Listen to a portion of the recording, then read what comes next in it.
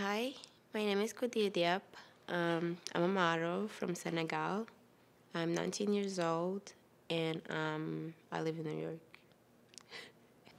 I grew up in Senegal till I was 15 and then I moved to Paris. I lived in Paris for two years and then I moved to New York. I moved to New York because my mom lives here. All my family live here and um, my mom's been living here for 15 years now. She left my country when I was three years old, and I was raised by um, her sister and my older sister. My mom left Senegal when I was three years old. Um, so I stood 15 years without seeing my mom.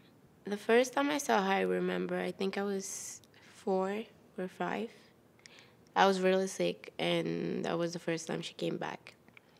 And when she, when after that, I didn't see her till recently, one year ago.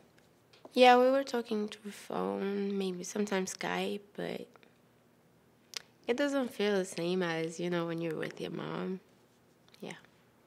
And growing up, I I saw a lot of um, my family members using skin bleaching products and um, not just my family, but it's a huge problem in my country. Skin bleaching is a very big problem. As I grew up around 12, 13, my own cousin started asking me why I don't want to use those products. And um, yeah, I think it's a, it's a big problem.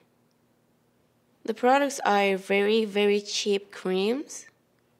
Some of them cost less than a dollar that's how um, accessible they made it for the women in my country.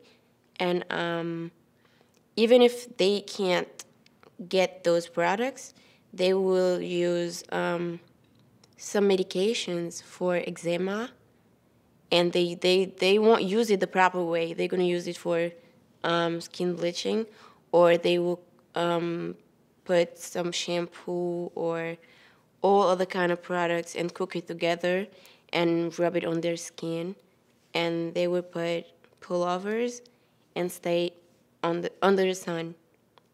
And that thing just made this their skin peel off and it's just horrible. Um from 1 to 10 women 7 will use skin bleaching products. That's how popular it is. Every single street that you're to cross in my street uh, in my country you're to see um, skin bleaching product advertisements and everything and every everywhere. Why I didn't use skin bleaching products?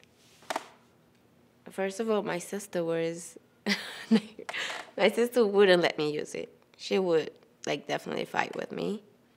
I just felt like why would I change my skin?